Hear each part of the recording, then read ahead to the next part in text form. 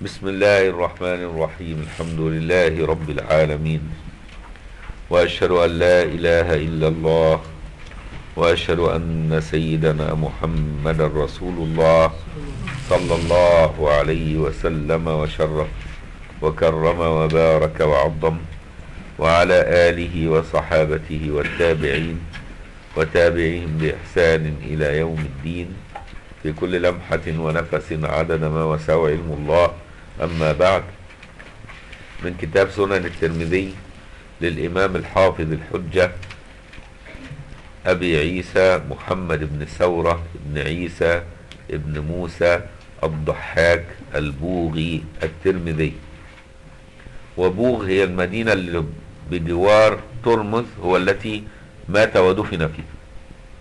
عشان يقولوا البوغي نسبة لبوغ قرية صغيرة تابعة لترمز اللي هي موجودة الآن في أوزبكستان. يعني حسب التقسيم الحالي موجودة في أوزبكستان. كانت زمان تبع هراه اللي هي في أفغانستان. وبعدين بعد كده في التقسيمات بقى جزء منها تابع لأوزبكستان وجزء من هراه تابع لأفغانستان.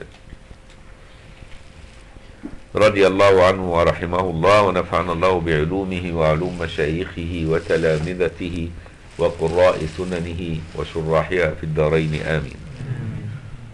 الباب العاشر من الكتاب الثاني كتاب الصلاة. باب ما جاء في وقت المغرب.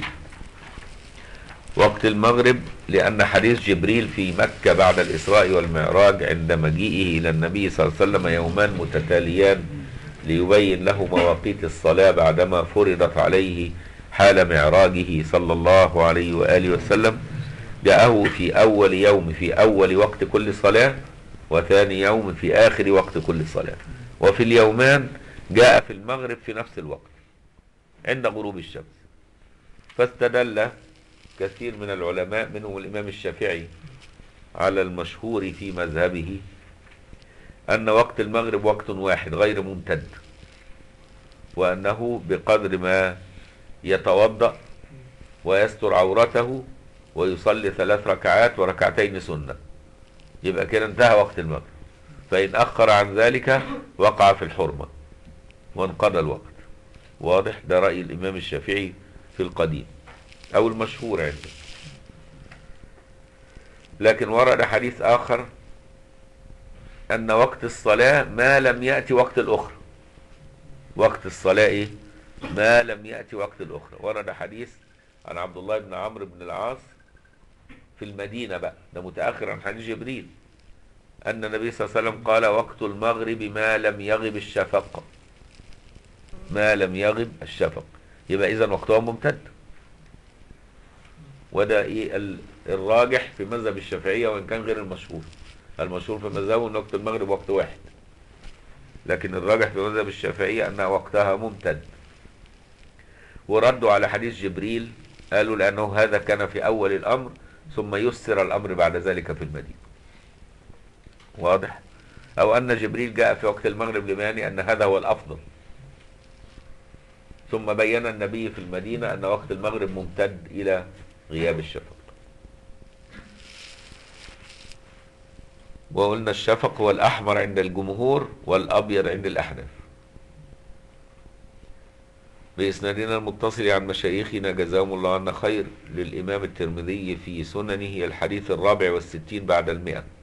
قال حدثنا قتيبة قال حدثنا حاتم بن إسماعيل عن يزيد بن أبي عبيد عن سلمة بن الأكوع رضي الله عنه قال كان رسول الله صلى الله عليه وآله وسلم يصلي المغرب إذا غربت الشمس وتوارد بالحجاب. الحجاب اللي هو الأفق يعني.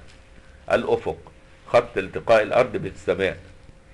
عند منتهى البصر يسمى الأفق. هذا يسمى الحجاب. إذا توارد بالحجاب يعني سقط واختفى.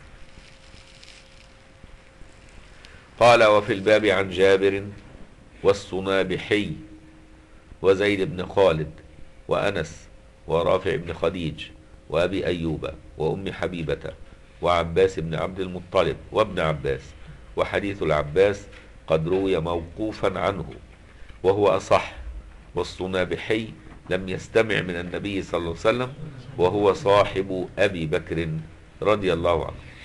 قال أبو عيسى حديث سلمة بن الأكوع حديث حسن صحيح وهو قول أكثر أهل العلم من أصحاب النبي صلى الله عليه وآله وسلم ومن بعدهم من التابعين. اختاروا تعجيل صلاة المغرب وكرهوا تأخيرها. حتى قال بعض أهل العلم ليس لصلاة المغرب إلا وقت واحد. وذهبوا إلى حديث النبي صلى الله عليه وسلم حيث صلى به جبريل وهو قول ابن المبارك والشافعي.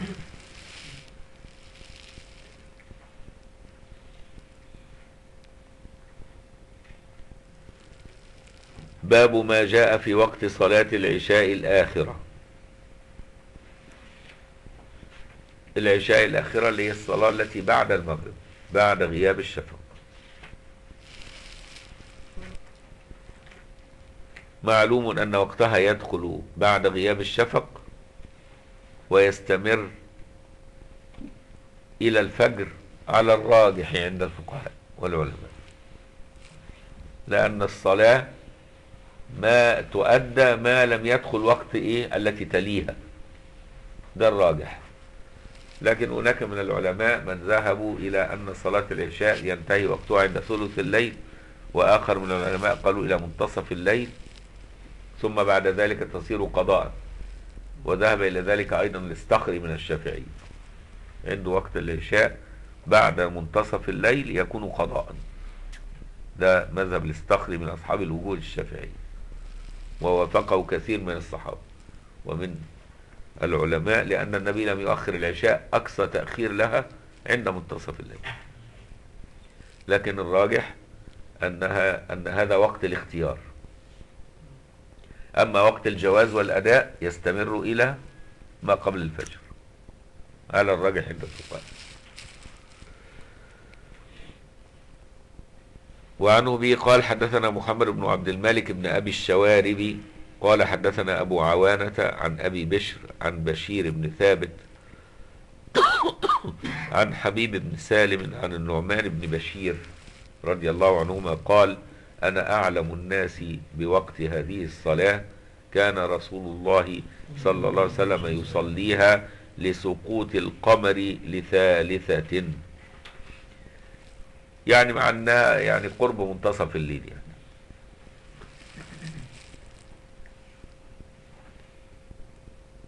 لسقوط القمر لثالثة يعني في أول وقتها. يبقى هنا معناها في أول وقتها.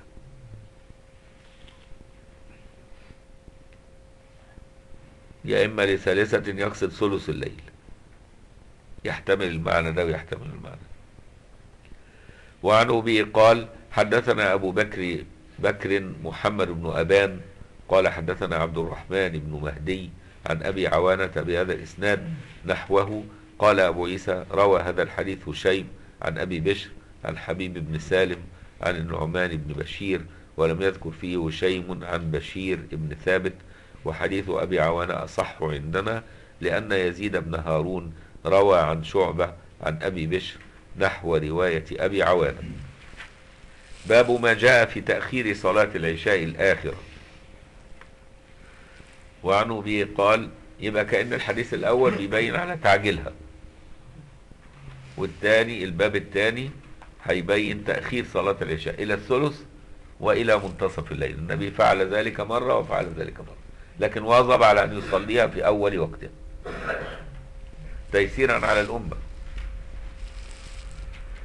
وعن أبي قال حدثنا هناد قال حدثنا عبدة عن عبيد الله بن عمر عن سعيد المقبوري عن أبي هريرة رضي الله عنه قال قال النبي صلى الله عليه وسلم لولا أن أشق على أمتي لأمرتهم أن يؤخروا العشاء إلى ثلث الليل أو نصفه. لولا أن أشق على أمتي دل على أن هذا وقتها الأصلي إلا أن النبي اختار الأيسر لأمتي. يبقى النبي كان له التصريف في التشريع. جعل الله له التصريف في التشريع. يخيره بين أمرين فيختار أيسرهما صلى الله عليه وسلم. علشان كده ورد رواية قال النبي والله إنه لوقتها لولا أن أشق على أمتي. قال كده والله أو الذي نفس محمد بيده إنه لوقتها. يعني عند ثلث الليل. لولا أن أشق على أمتي. لأمرتهم أن يؤخروا العشاء إلى ثلث الليل أو نصفه. قال وفي الباب عن جابر بن سمرة وجابر بن عبد الله وأبي برزة وابن عباس وأبي سعيد الخدري وزيد بن خالد وابن عمر. قال أبو عيسى حديث أبي هريرة حديث حسن صحيح وهو الذي اختاره أكثر أهل العلم من أصحاب النبي صلى الله عليه وسلم والتابعين وغيرهم. رأوا تأخير صلاة العشاء الآخرة استحبابه يعني. رأوا تأخيرها يعني استحباب تأخيرها. وبه يقول أحمد وإسحاق. لكن الشافعية ذهبوا إلى إيه؟ إلى جواز تأخيرها واستحباب أن تكون في أول الوقت لأن هذا ما واظب عليه النبي. فما واظب عليه النبي هو الأول. واضح؟ ده رأي الشافعي. خلافا للحنابلة قالوا أنه يستحب تأخيرها إن لم تفوته الجماعة. إن كان بغير إيه؟ بغير إرهاق لأحد.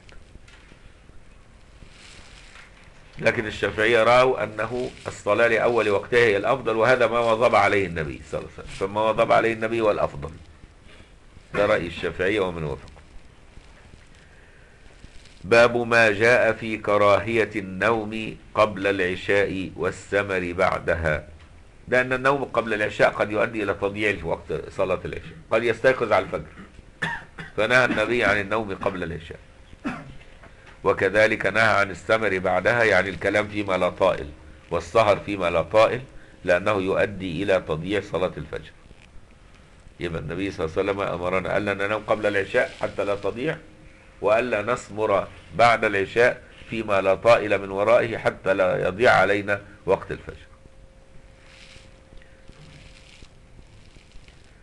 وعن أبي قال حدثنا أحمد بن منيع قال حدثنا هشيم قال أخبرنا عوف قال أحمد وحدثنا عباد بن عباد هو المهلبي وإسماعيل ابن علية جميعا عن عوف عن سيار ابن سلامة هو أبو المنهال الرياحي عن أبي برزة قال كان النبي صلى الله عليه وسلم يكره النوم قبل العشاء والحديث بعدها وهي كراهة, إيه إرشاد وتنزيه وليس التحريم يعني افرض واحد غلبه النوم ونام قبله ما ارتكبش حرام. الرسول صلى الله عليه وسلم بيقول إيه؟ ليس في النوم تفريط. إنما التفريط في من يدع الصلاة حتى يدخل وقت الأخرى وهو متيقظ يعني. هو ده التفريط. يبقى هنا إيه الكراهة؟ هنا كراهة إيه؟ تنزيه وليس التحريم. كان النبي صلى الله عليه وسلم يكره النوم قبل العشاء والحديث بعدها. قال وفي الباب عن عائشة وعبد الله بن مسعود وأنس قال أبو عيسى حديث أبي برزة حديث حسن صحيح وقد كره أكثر أهل العلم النوم قبل صلاة العشاء والحديث بعدها ورخص في ذلك بعضهم. وقال عبد الله بن المبارك أكثر الأحاديث على الكراهية ورخص بعضهم في النوم قبل صلاة العشاء في رمضان وسيار بن سلامة هو أبو المنهال الرياحي. باب ما جاء من الرخصة في السمر بعد العشاء. يبقى السمر بعد العشاء إن كان له فائدة فيما له فائدة زي طالب بيذاكر بيطلب علم أو إنسان بيؤدي مصلحة يعني تعود عليه أو على المسلمين فلا بأس إن هو إيه يسهر بعد العشاء أو يتكلم بعد العشاء. أما إن كان فيما لا طائل فيبقى وقعنا في الكراهة. إن كان فيما لا طائل ويؤدي ذلك بالعادة المستمرة تضيع صلاة الفجر يقع في الحرمة. لأنه بهذا كأنه يتعمد تضييع صلاة الفجر. ويكون هذا الحرام حرام من الصغائر وليس من الكبائر إلا أن يكون الثمر في فعل كبيرة. كمن يسمر مثلا يشرب خمرا أو يلعب قمارا أو يتفرج على إيه؟ المسارح. ويجلس في الكازينوهات الليلية. وأين تذهب هذا المساء؟ والمسخرة اللي بتحصل. كل هذا يقع في الحرام بقى. فهمت؟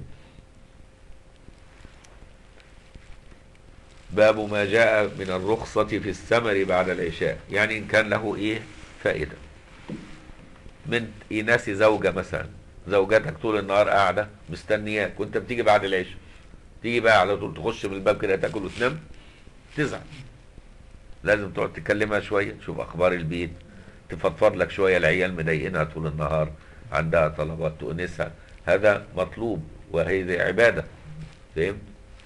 فما تجيش بقى في الحاجات اللي فيها نكت ولا أصل لا ثمره بعد العشاء. تقوم تكرهها في الأحاديث. النبي ما كان يسمع حديث ام زرع مش قرينا حديث ام زرع الطويل؟ كان بعد العشاء. ستنا عائشة قاعدة تكلم النبي بعد العشاء. وحديث طويل ياخد له بتاع ساعة كلام. واخد بالك؟ يبقى جائز أهو لمؤانسة الزوجة.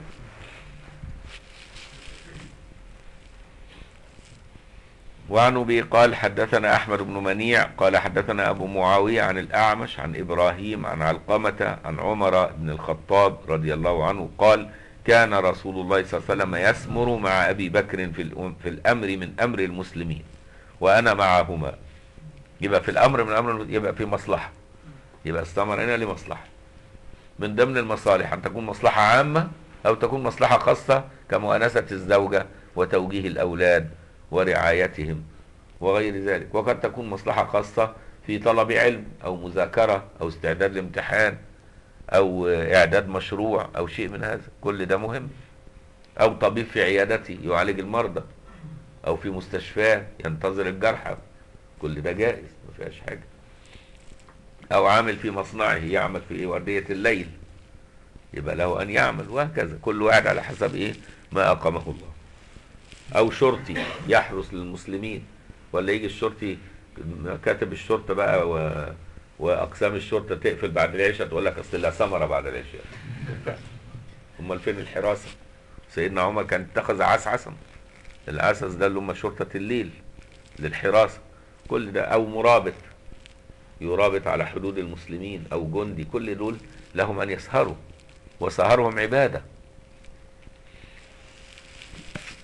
عشان كده إيه كان صلى الله عليه وسلم يسمر مع أبي بكر في الأمر من أمر المسلمين وأنا معهما. الراوي هنا مين؟ سيدنا عمر. وفي الباب عن عبد الله بن عمرو وأوس بن حذيفة وعمران بن حسين.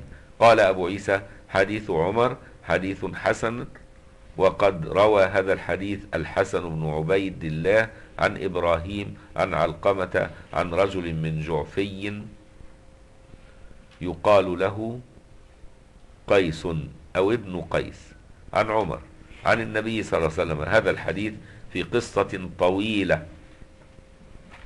وقد اختلف القصة الطويلة لو انت عايز تعرفها إن جاء ناس من الكوفة لسيدنا عمر وهو أمير للمؤمنين. فقالوا له عندنا رجل يملي المصحف للناس من ظهر قلب. فغضب سيدنا عمر. خاف لحسن يكون إيه؟ بيغلط. غضب غضبا شديدا. ظهر قلب ويمل الناس وتبقى معتمدة. إزاي؟ فغضب سيدنا عمر. غضب غضب شديد. فلما سأل من هذا الرجل؟ قالوا لا عبد الله بن مسعود. فهدأ وذهب غضبه. وقال لقد كنت مع رسول الله صلى الله عليه وسلم أسير وكان رجل يقرأ القرآن. فوقف النبي يستمع. فإذا عبد الله بن مسعود يقرأ القرآن فقال النبي صلى الله عليه وسلم من أراد أن يقرأ القرآن غضا طريا فليقرأه قراءة ابن أم عبد. فطلع إن الرجل ده مين؟ سيدنا عبد الله بن مسعود قاعد في الكوفة بيملي الناس القرآن. فهمت؟ أدي القصة الطويلة يعني.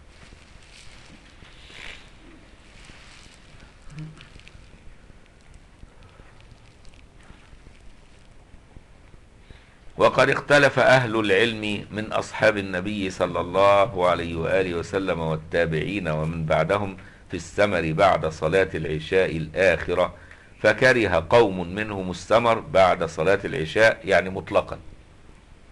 ورخص بعضهم وده الراجح واللي عليه الجمهور واللي عليه العمل إن هو إذا كان لمصلحة يبقى جائز. إذا كان في معنى العلم وما لا بد منه من الحوائج وأكثر الحديث على الرخصة. وقد روي عن النبي صلى الله عليه وسلم قال لا ثمر إلا لمصل أو مسافر. الحديث ده رواه الإمام أحمد وفي إسناده رجل مجهول. لا ثمر إلا لمصل أو مسافر. باب ما جاء في الوقت الأول من الفضل. غدا إن شاء الله بإذن الله لأنه إيه؟ موضوع طويل حتى لا نطيل عليكم اليوم. اللهم علمنا ما ينفعنا وانفعنا بما علمتنا وزدنا علما. اللهم يسر أمورنا استر عيوبنا بلغنا مما يرضيك آمالنا. وفقنا يا رب وسائر المسلمين لما تحبه وترضاه يا رب العالمين. إن الله وملائكته يصلون على النبي. يا أيها الذين آمنوا صلوا عليه وسلموا تسليما. اللهم صل على سيدنا محمد عبدك ورسولك النبي الأمي وعلى آله وسلم. اللهم صل على سيدنا محمد عبدك ورسولك النبي الأمي وعلى آله وسلم. اللهم صل على سيدنا محمد عبدك ورسولك النبي الأمي وعلى آله وسلم. عدد خلقك ورضا نفسك وزنة عرشك ومداد كلماتك. وكما تحب وترضى. سبحان ربك رب العزة عما يصفون وسلام على المرسلين والحمد لله رب العالمين.